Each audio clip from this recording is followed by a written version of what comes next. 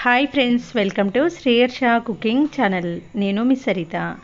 ఇవాళ మన రెసిపీ వచ్చి సమ్మర్ స్పెషల్ రెండు రకాల అప్పడాల రెసిపీస్. కొత్తగా పెళ్ళైన వారు కానీ ఫస్ట్ టైం వడియాలు అప్పడాలను పెట్టేవారి కోసం చాలా ఈజీ ప్రాసెస్లో ఎంతో టేస్టీగా నోట్లో వేస్తే అలా కరిగిపోయేంత క్రిస్పీగా ఉండే అప్పడాలను ఎలా పెట్టాలో చూసేద్దాం. ముందుగా గ్లాస్ పాపడ్ను ఎలా పెట్టాలో చూసేద్దాం.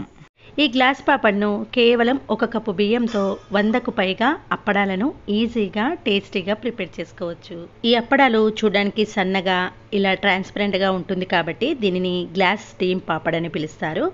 మరి ఆలస్యం చేయకుండా గ్లాస్ స్టీమ్ పాపడ్ను ఎలా ప్రిపేర్ చేయాలో ఇప్పుడు చూసేద్దాం. పదండి.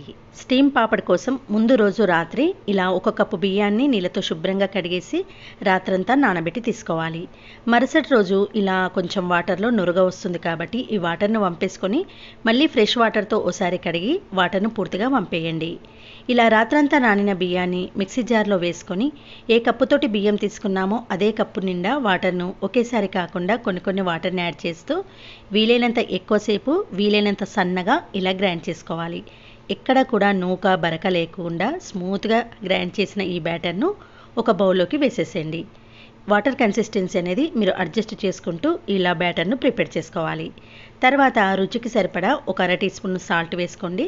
చిటికడంతా వంట సోడాను వేయండి. ఇక్కడ వంట సోడా అనేది పూర్తిగా ఆప్షనల్ అండి. వంట సోడా వేయకుండా కూడా ఎప్పడాలు పొంగుతూ పర్ఫెక్ట్గా వస్తాయి. వంట సోడా వేస్తే ఇంకా ఎక్కువగా పొంగుతాయి కానీ కొద్దిగా కలర్ అనేది చేంజ్ అవుతుంది. కాబట్టి వంట సోడా అనేది పూర్తిగా ఆప్షనల్. తర్వాత ఈ బ్యాటర్లోకి ఒక టీ స్పూన్ వరకు మైదా పిండిని వేసి ఎక్కడ కూడా ఉండలు లేకుండా స్పూన్తో కలిపేసేయండి. ఒక కప్పు బియ్యానికి ఒక టీ స్పూన్ మైదా పిండి వేస్తే మెజర్మెంట్ కరెక్ట్గా సరిపోతుంది. ఇలా బియ్యం పిండి బ్యాటర్లో మైదా పిండి వేయడం వలన అప్పడాలు ఎండిన తర్వాత షైనింగ్గా కనబడమే కాకుండా టేస్ట్ చాలా బాగుంటుంది. ట్రాన్స్పరెంట్గా సన్నగా వస్తాయి. తర్వాత బ్యాటర్ అనేది ఇలా వచ్చేటట్టు వాటర్ను అడ్జస్ట్ చేసుకోవాలి. చూడండి కన్సిస్టెన్సీ అనేది మరీ లిక్విడ్గా ఉండొద్దు. అలానే మరీ చిక్కగా కూడా ఉండకుండా ఈ మాదిరిగా ఉండేటట్టు బ్యాటర్ను ప్రిపేర్ చేసుకోండి. తర్వాత స్టీమ్ కుడికించడం కోసం కొంచెం హైట్ ఎక్కువగా ఉన్న గిన్నెని తీసుకోండి. నేనైతే ఇక్కడ ఇడ్లీ పాత్రను తీసుకుంటున్నాను. హైట్ ఎక్కువగా ఉంటుంది కాబట్టి. తర్వాత సగం కన్నా ఎక్కువ వాటర్ని వేసుకొని ఇలాంటి సన్నటి కాటన్ క్లాత్ను ఈ గిన్నెకు టైట్గా ముడి వేసుకోవాలి చూడండి హైట్ ఎక్కువ ఉన్న ఏ గిన్నె అయినా పర్వాలేదు. కాటన్ క్లాత్ కూడా మరీ లావుగా ఉండకుండా ఇలా సన్నగా ఉండేటట్టు చూసుకోండి. ఇప్పుడు ఈ గిన్నెను స్టవ్ పైన పెట్టుకొని వాటర్ మరిగే వరకు వెయిట్ చేసి వాటర్ మరిగేటప్పుడు వీడియోలో చూపిస్తున్నట్టు ఇలా గరిటెడ్ పిండిని వేసి నెమ్మదిగా స్ప్రెడ్ చేసి మూత పెట్టేయండి. మూత పెట్టి జస్ట్ ఒక ట్వంటీ సెకండ్స్ ఉడికిన తర్వాత వెంటనే మూతను తీసేసి నెమ్మదిగా నైఫ్తో కానీ స్పూన్తో కానీ ఈ అప్పడాన్ని కాటన్ క్లాత్ నుంచి ఇలా రిమూవ్ చేసేయండి. మంట మాత్రం హై ఫ్లేమ్లో పెట్టుకొని ఈ అప్పడాలను ప్రిపేర్ చేసుకోవాలి. వాటర్ లోపల మరుగుతుంటేనే ఈ పిండిని వేసుకొని ఇలా ఒక్కొక్క అప్పడాన్ని పైనుంచి తీసేసుకోవాలి. చూడండి చాలా ఈజీగా చాలా పర్ఫెక్ట్గా విరిగిపోకుండా వస్తుంది. ఎంత సన్నగా అంటే అంత సన్నగా వేసుకోవచ్చు. పిండిని ఇలా కాటన్ క్లాత్ పైన వేసి వీలైనంత ఎక్కువగా స్ప్రెడ్ చేయండి. అలా అయితే సన్నగా వస్తాయి. ఇలా వేసిన వెంటనే మూతను పెట్టేసి జస్ట్ ఒక ట్వంటీ సెకండ్స్ మాత్రమే ఉంచండి. ట్వంటీ సెకండ్స్ తర్వాత మూత తీసి నెమ్మదిగా ఇలా నైఫ్తో లూజ్ చేశారంటే అప్పడం అనేది ఎక్కడ కూడా బ్రేక్ రాకుండా మనకు కాటన్ క్లాత్ నుంచి ఈజీగా ఇలా చేత్తో తీసేసేయచ్చు. ఇదే మాదిరిగా మిగతా బ్యాటర్తో కూడా అప్పడాలను ప్రిపేర్ చేసుకొని వన్ టూ డేస్ పాటు ఎండ తీవ్రతను బట్టి ఎండలో ఎండబెట్టుకోండి. చూడండి నేనైతే టూ డేస్ పాటు ఎండలో ఆరబెట్టుకున్నాను. ఇలా ఎండిన అప్పడాలు టూ ఇయర్స్ పాటు కూడా నిల్వ ఉంటాయి. చూడండి ఎండిన తర్వాత అప్పడాలు వైట్గా ట్రాన్స్పరెంట్గా షైనింగ్గా ఉన్నాయి కదా. వీటిని డీప్ ఫ్రై చేస్తే కూడా డబల్ త్రిబల్ సైజులో వస్తాయండి. చాలా చాలా టేస్ట్ కూడా చాలా బాగుంటుంది. ఇలా ఎండిన అప్పడాలను ఇప్పుడు ఆయిల్లో డీప్ ఫ్రై చేద్దాం. దీనికోసం స్టవ్ ఆన్ చేసి బాండీలో డీప్ ఫ్రైకి సరిపడా ఆయిల్ వేసుకోండి. ఆయిల్ మాత్రం ఐ ఫ్లేమ్లో వేడెక్కిన తర్వాతనే ఒక్కొక్క అప్పడాన్ని వేస్తూ ఇలా డీప్ ఫ్రై చేయండి. చూడండి స్టార్టింగ్లో సైజ్ ఎంత చిన్నగా ఉంది. డీప్ ఫ్రై చేసిన తర్వాత డబల్ త్రిబల్ సైజ్లో వస్తుంది. చక్కగా పొంగుతూ వస్తాయి. ఈ అప్పడాలు కొంచెం కలర్ ఇలా డార్క్గా వస్తుంది. అది వంట సోడా వేయడం వల్ల అండి నాకు తెలిసి అయితే మీరు వంట సోడా వేయకుండానే ఈ అప్పడాలను ట్రై చేయండి. వంట సోడా వేయకుండా కూడా ఈ అప్పడాలు చక్కగా పొంగుతూ పర్ఫెక్ట్గా వస్తాయి. అయితే ఈ స్టీమ్ పాపడ్ చేసేటప్పుడు ఇలా హైట్ ఎక్కువగా ఉన్న గిన్నెని సెలెక్ట్ చేసుకోండి. ఎందుకంటే మంట వేడికి మనం పైన కట్టిన కాటన్ క్లాత్ అనేది మాడిపోతుంది.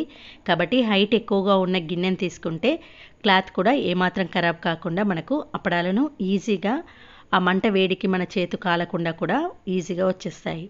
ఓకే ఫ్రెండ్స్ మరి నేను చూపించిన ఈ స్టీమ్ పాపడ్ మీ అందరికీ నచ్చితే నా వీడియో చూసిన వెంటనే ఒక లైక్ చేసి మీ ఫ్రెండ్స్తో రిలేటివ్స్తో షేర్ చేయండి. తర్వాత పేపర్ ఎంత సన్నగా ఉంటుందో అంతకన్నా సన్నగా వచ్చే ఈ పేపర్ పాపడ్ను ఎలా పెట్టాలో చూసేద్దాం. దీనికోసం ముందుగా ఒక మిక్సీ జార్లోకి ఒక కప్పు నిండా ఉప్మా చేసుకునే సన్న రవ్వను వేసుకోండి. ఇలా రవ్వను గ్రైండర్లో వేసి ఒకసారి గ్రైండ్ చేసిన తర్వాత దీంట్లోకి ఒక టీ స్పూన్ వరకు మైదా పిండిని వేసి మళ్ళీ ఒకసారి ఫైన్ పౌడర్గా గ్రైండ్ చేసుకోవాలి. చూడండి పిండి ఎలా ఉంటుందో అలా సన్నగా అయ్యేలా గ్రైండ్ చేసుకోవాలి. ఇప్పుడు ఈ పౌడర్ను ఒక మిక్సింగ్ బౌల్లోకి వేసుకోండి. ఇప్పుడు దీంట్లోకి ఏ కప్పుతోటి రవ్వ తీసుకున్నామో అదే కప్పుతోటి మూడు కప్పుల నీళ్ళు యాడ్ చేసుకోవాలి. అంటే ఒక కప్పు బొంబాయి రవ్వకి మూడు కప్పుల నీళ్ళను ఈ విధంగా ఇందులో వేసి ఎక్కడా కూడా ఉండలు లేకుండా ఇలా పల్చగా బ్యాటర్లా ప్రిపేర్ చేసుకోవాలి. ఇప్పుడు ఒక మందపాటి గిన్నెను తీసుకొని ఏ కప్పుతోటి రవ్వ తీసుకున్నామో అదే కప్పుతోటి ఆరు కప్పుల నిండా నీళ్ళు తీసుకోవాలి. అంటే టోటల్గా ఒక కప్పు బొంబాయి రవ్వకు తొమ్మిది కప్పుల నీళ్ళు పడతాయి. ముందుగా మనము పిండిలో మూడు కప్పులు యాడ్ చేసాము ఇప్పుడు మిగతా ఆరు కప్పులను ఈ గిన్నెలోకి వేసుకొని ఇప్పుడు స్టవ్ పైన పెట్టుకొని వాటర్ మరిగే వరకు వెయిట్ చేయాలి. One is to nine ratio తీసుకుంటే మెజర్మెంట్ కరెక్ట్గా వస్తుంది. తర్వాత ఇలా వాటర్ మరిగేటప్పుడు మనం కలిపి ఉంచుకునే బ్యాటర్ పైన ఇలా వాటర్ తేలుతుంది కాబట్టి మళ్ళీ ఒకసారి స్పూన్తో చక్కగా కలిపేసి మరుగుతున్న వాటర్లో ఈ విధంగా ఒక చేత్తో పిండిని వేస్తూ మరొక చేత్తో కలుపుతూ ఈ విధంగా వేసుకోవాలి. ఇలా చేయడం వలన ఎక్కడ కూడా పిండి ఉండలు కట్టకుండా వస్తుంది. ఈ ప్రాసెస్ చేసేటప్పుడు మంటని సిమ్లో పెట్టుకొని చేయండి. చూసారు కదా ఇలా పూర్తిగా వాటర్లో కలిసేలా కలిపేసిన తర్వాత మంటను మీడియం ఫ్లేమ్కు టర్న్ చేసి ఒక నాలుగు ఐదు నిమిషాల పాటు కలుపుతూ ఉడికించుకోవాలి. అలా అయితేనే పాపడాలు వేసిన తర్వాత ఎండలో ఎండిన తర్వాత ఎక్కడ కూడా క్రాక్స్ రాకుండా రౌండ్ షేప్లో పర్ఫెక్ట్గా వస్తుంది. చూడండి ఫోర్ టు ఫైవ్ మినిట్స్ తర్వాత ఇలా బబుల్స్ బబుల్స్ వచ్చినప్పుడు రుచికి సరిపడా ఉప్పు వేసి కలిపేయండి. బొంబాయి రవ్వ వడియాలు చేసిన అప్పడాలు చేసిన సాల్ట్ చాలా తక్కువగా పడుతుంది కాబట్టి చూసి యాడ్ చేసుకోండి. చూడండి ఇలా గట్టిగా చిక్కగా ఈ కన్సిస్టెన్సీకి వచ్చిన తర్వాత స్టవ్ ఆఫ్ చేసి పూర్తిగా చల్లారే వరకు పక్కన పెట్టండి. మీరు క్లాత్ పైన అప్పడాలు వేస్తే గోరువెచ్చగా ఉన్నప్పుడే వేయండి. నేను పాలిథిన్ పేపర్ పైన వేస్తున్నాను కాబట్టి పూర్తిగా చల్లారినాక వేస్తున్నాను. తర్వాత దీంట్లోకి రుచి కోసం అర టీ స్పూన్ జీలకర్ర ఒక టీ స్పూన్ నువ్వులు వేసి పిండిలో కలిసేలా కలిపేయండి. నేను పిండి చాలా చల్లారే వరకు పక్కన పెట్టాను కాబట్టి పిండి మరి కాస్త గట్టిగా అయిందండి. కొంచెం లైట్గా వేడిగా ఉన్నప్పుడే మీరు పాపడాలు వేసుకున్నారంటే అసలు ఏ ప్రాబ్లం లేకుండా చాలా ఈజీగా పెట్టేసుకోవచ్చు. మీకు చూపించడం కోసం నేను ఇంట్లోనే ఒక చిన్న పేపర్ పైన వేసి చూపిస్తున్నాను. ఇలా గుంట గరిటతో పిండిని వేసి నెమ్మదిగా స్ప్రెడ్ చేయండి. ఎంత ఎక్కువ స్ప్రెడ్ చేస్తే అంత సన్నగా వస్తాయి. మీరు స్ప్రెడ్ చేయకుండా ఉంటే అప్పడాలు లావుగా వస్తాయి. మీకు ఎలా నచ్చితే అలా చేసుకోండి. నేను బంగ్లా పైన ఇలాంటి పాలిథిన్ పేపర్ పైన అప్పడాలన్నీ వేసేసాను. సాయంత్రం కల్లా అప్పడాలు మనం తీయాల్సిన అవసరం లేకుండా పేపర్ పై నుంచి ఈజీగా రిమూవ్ అయిపోతాయి. చూసారు కదా ఎంత సన్నగా ట్రాన్స్పరెంట్గా వచ్చాయో? మీరు గుంటగరెడితో పిండిని వేసి నెమ్మదిగా స్ప్రెడ్ చేస్తే ఇలా సన్నగా వస్తాయి. స్ప్రెడ్ చేయకుండా అలాగే వేసుకుంటూ వెళ్ళారంటే కొంచెం మందంగా వస్తాయి. పాపడాలు ఎలా నచ్చితే అలా చేసుకోండి.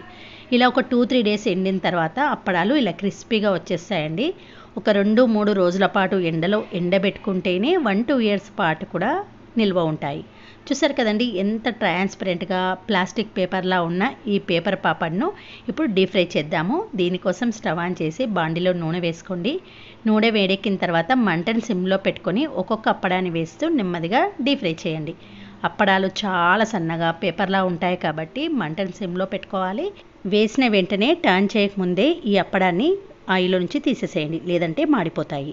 చూసారు కదండి ఎంతో సన్నగా పేపర్లా ఉండే ఈ పాపడు నోట్లో వేసి అలా కరిగిపోయేంత క్రిస్పీగా ఉంటుంది. చేయడం కూడా చాలా ఈజీ కదా ఒక కప్పు బొంబాయి రవ్వతో వందకు పైగా అప్పడాలను ప్రిపేర్ చేసుకోవచ్చు. ఎండ లేనివారు ఈ అప్పడాలను ఫ్యాన్ గాలి కింద పెట్టినా సాయంత్రం కల్లా ఈజీగా వచ్చేస్తాయి. తర్వాత మరొక టూ త్రీ డేస్ పాటు ఫ్యాన్ గాలి కింద పెట్టేస్తే సరిపోతుంది. ఓకే ఫ్రెండ్స్ మరి నేను చూపించిన ఈ పేపర్ పాపడ్ మీ అందరికీ నచ్చితే వీడియో చూసిన వెంటనే ఒక లైక్ చేసి మీ ఫ్రెండ్స్తో రిలేటివ్స్తో షేర్ చేయండి. మరొక మంచి వీడియోతో మళ్ళీ కలుద్దాం. Thanks for watching.